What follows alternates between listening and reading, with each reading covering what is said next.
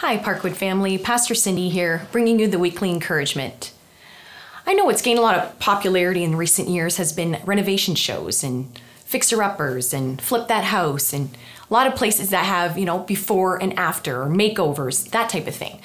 Um, I enjoy watching those myself. I like seeing something go from needing a lot of work to a beautiful transformation. And uh, my husband and I have some personal experience in this area, uh, having bought a farmhouse in, some years back.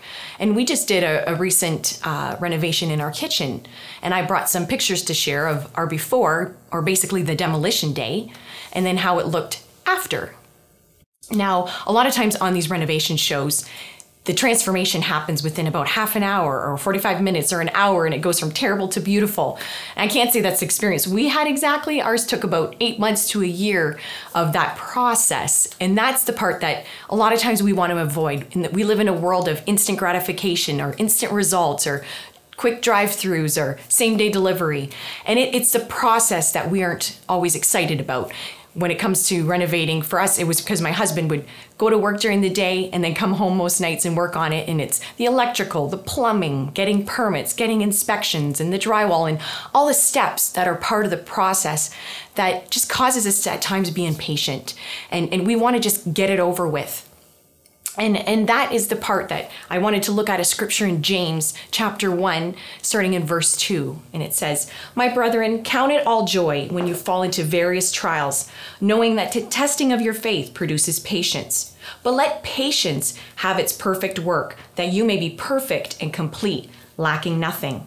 And then I also like that same scripture, but in the message translation.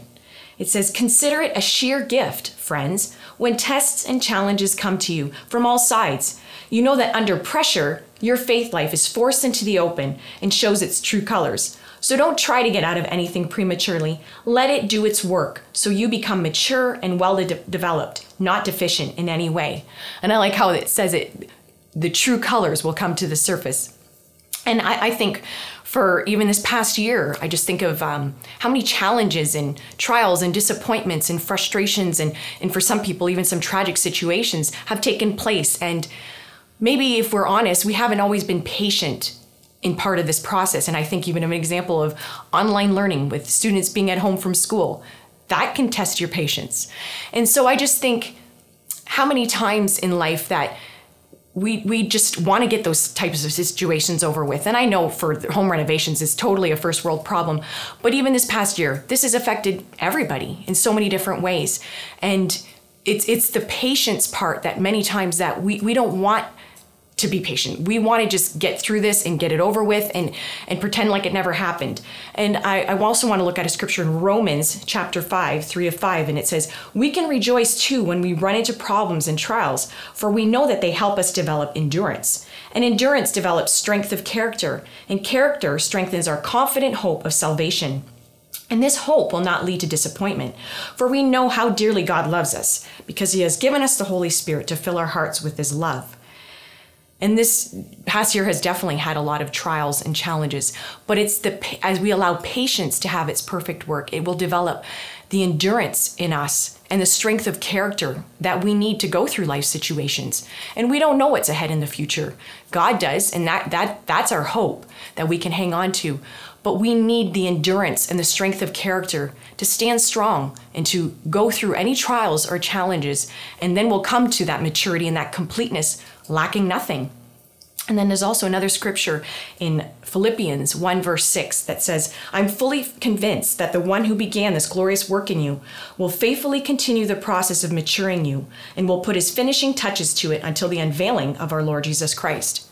So I like that word unveiling because it reminds me again of the before and the after. So the good news is, church, it's not us doing it in ourselves. It's God is with us. He is in us and He is working in us. So our part of the process is yielding to it and allowing Him to have His way in us and yielding to that patience to have its perfect work and cause that maturing to happen in us so that we will have, will be perfect and complete, lacking nothing.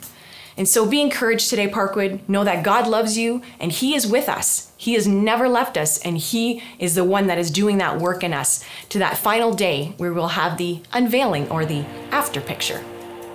Be blessed.